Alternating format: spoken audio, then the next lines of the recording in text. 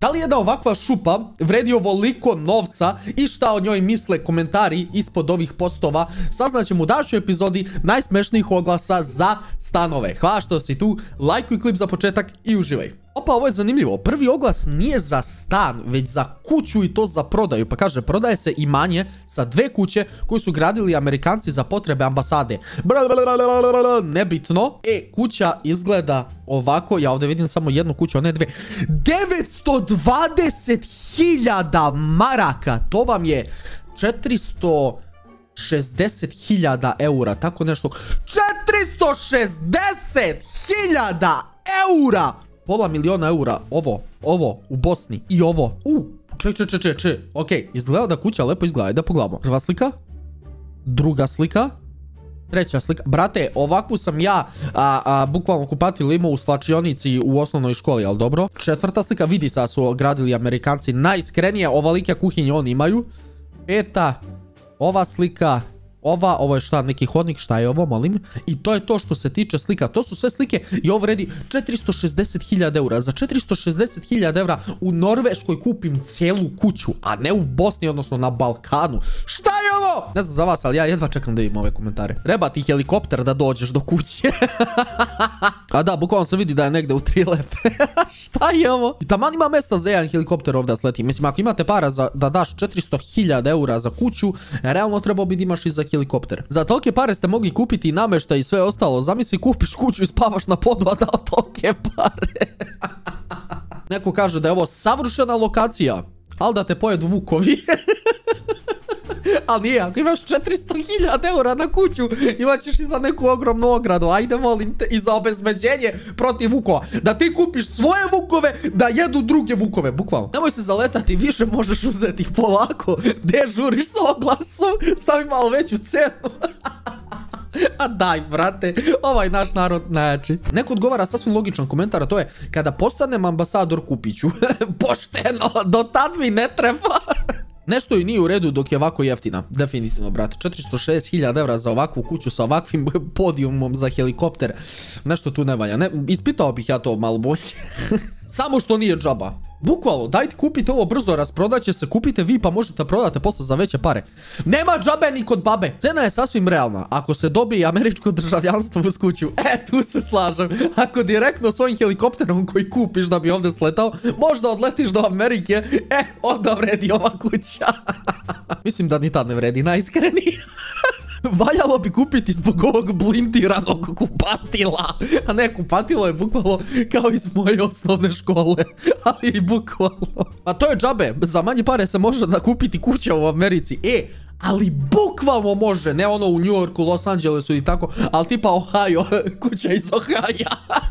A ne, ali negdje tako ono manji gradić, za te pare kupiš celu kuću tamo, ono, i to uređenu. A ne ovo, druže. Želim veliku sreću prodavcu ove kuće na prodaj, a mi ajde da vidimo sljedeći oglas. Kaže, duplex od 86 metara kvadratnih, okrenut ka dvorištu na svega 5 minuta od centra Peške, ne znam koji grad, ali nema veze, pretpostavljam Beograd, cena 800 eura, 86 kvadrata, 800 eura. I ajde vidimo slike koje kažu, kupatilo malo posle doba, Tita nije baš iz tog doba, ali malo posle.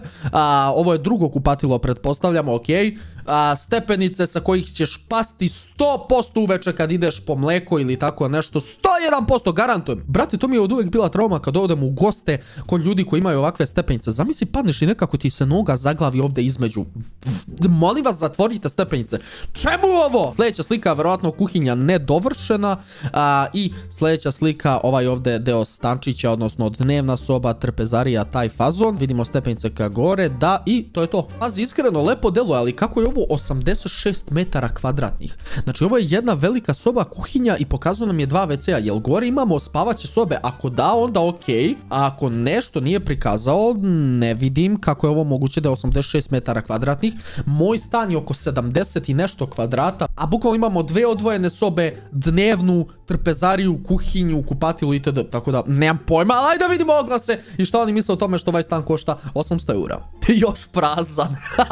a ne, a neča stvar je što je kuhinja prazna i neko ko se useljava mora da plati kuhinju, vrate, celu. Znaš kao, ja ću rukama da nosim svoju kuhinju, doneću i onda ako se nekad odlučim da se preselim, ja ću svoju kuhinju uzeti nazad i odneću je sa sobom.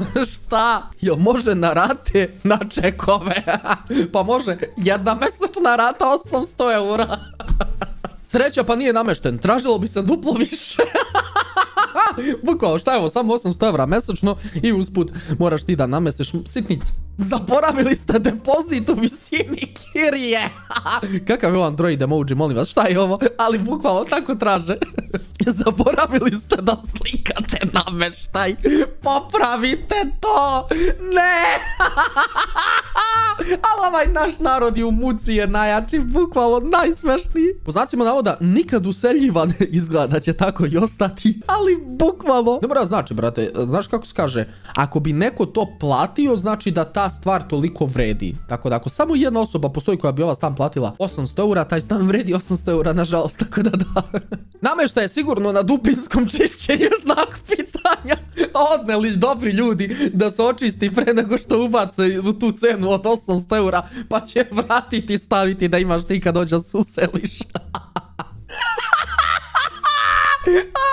Ime ovog lika i kaže, je danas preskočio terapiju izgleda. Daj, de na današnji dan da stavljaš oglas na prodaju druže, de ćeš baš danas. Predlažem da napravimo top 10 najluđih oglasa. Ovo je sigurno u finalu. I 30 lajkova. E, pa možete moje klipove da gledate i možda napravim to. Top 10 najsmešnijih oglasa na Balkanu. I izdvojim od svih prethodnih klipova top 10. Molim vas ne zaboravite da se subscribe na kanal ako želite ovako kontenta još u budućnosti. Meni je zanimljivo, pravim, nadam se da vama zanimljivo da gledate. Tako da, sub na kanal, idemo ka 300.000 i ajmo nastavak klipa. Dobre mu mornarske stepenice. A to ja kažem, mislim, nisam rekao da su mornarske, ali nisu ni pametne. Brate, neko će nogu polomiti svega mi. Sa srećom iznajmivanje stana, a mi ajmo na sljedeći oglas. Sljedeći oglas kaže izdato. Znači, pazi, on je već izdao oglas. Ali, kako glasi, izdajem sobu sa upotrebom kuhinje i kupatila samo za žene. Za više informacija, samo poziv na broj taj taj i cena je 100 eura. Znači, lik izdaje sobu i upotreba kuhinje i kupatila. Znači, deliš kuhinju i kupatilo, ali samo za žene. Ovo je kupatilo ja se nadam da ovo kad povučeš da nije ono lik neki koji te gleda sa druge strane, ali dobro. ovo je, valjda pokazuje kuhinju. A, jel on to u kuhinji drži veš mašinu? Jel on to stvarno u kuhinji drži veš mašinu? Ovo je veš mašina, ljudi, ovo nije mašina za pranje suđa. U kuhinji drži veš mašinu! A dobro, kapiram kao, nema mesta u kupatilu i onda, ali gde ćeš u kuhinju, brate, u hodnik je stavi ako treba. Jel video neko od vas da u kuhinju ide veš mašina? Molim vas. E kao, na brzinu ću da operam ove tanjire što imaju naslage jela, a usput ću da ubacim ove gaće što imaju govna na sebi u veš mašinu. Šta? I pokazuje tu sobu sa dva kauča i drugi ugao i kao to je to, ovo on iznajmljuje za 100 eura, pa pazi, realno nije ni mogu da traži više, ali okej, sjećate se da oglas samo za žene, e komentar kaže udate ili ne udate. da li je to važno? Žene, javite se. Ovakva prilika se ne propušta. 100 evra, verovatno neka akcija pred praznike. Inače 200, 250. Ali evo kad razmišljaš koliko može ovako nešto se ceni ako hoće da se iznajmljuje. 50 eura više od 100 nema šanse. Realno, brate, a i 100 je preterano. Sljedeći oglas kaže, izdajem garsonjeru veličine 30 kvadrata, potpuno opremljenu, cena mesečnog zakupa je 300 eura. I slike izgledaju ovako. Jedna, znači, dnevna soba, a hodnik, to jest nije hodnik, ovo je dnevna soba, ovdje su vrata neka, kuhinja sa druge strane, pa pazi pristojno, iskreno. A, ima terasu ladno i kupatilo koje je realno poprilično veliko. Pazi, ovaj stan nije loš, ali samo što nema mjesto za spavanje, odnosno morao bi ja spavaš u dnevnoj sobi. Realno, ovaj stan stvarno nije loš, ali 300 eura za ovo je hm, kritično malo. Ako sam ja da sudim, tu su komentari koji kažu, pa dobro, kad pogledaš kvadrat 10 eura mjesečno, nije strašno, ali može meni 15, ovih drugih 15 vama. Da li uz Garcineru, da li uz Garsonjeru ide i auto pošto je Bogu iza tregera treća krivina levo? Mene mnogo zanima kako oni dolaze na ideju za ove komentare. Ovo su legende, bukvalno. Da se prekrstim i desnom i levom.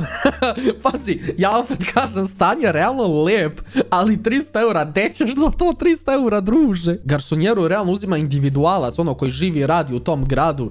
I, šta ćeš, vrati, njima naplaćaš 300 eura, ono.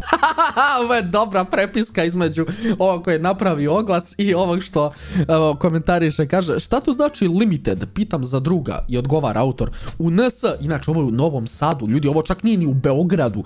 U Novom Sadu ima više tele telepskih dolina, svaka ima neki svoj naziv. Ova se zove Limited. To je jedna manja urbana celina.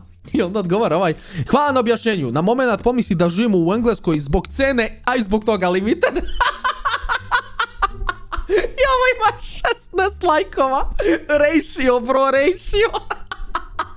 Sljedećem liku uopšte nije jasna ta cena i misli da još nešto dolazi uz nju i zato je ostavio komentar koji kaže jel uz tu cenu i kuvate? jel dođete ono svaki dan da mi spremite doručak, ručak i večeru i onda odete ili šta? Zašto 300 eura? legende, legende, stvarno, uvek me nasmeju, a nadam se i da tebe nasmeju. Lajkuj ovaj klip, subscribe se na kanal i pogledaj neki od mojih sljedećih klipova ako želiš da uživaš i dalje. A mi se vidimo u sljedećem, ne mogu preslan se smeju. Ćao!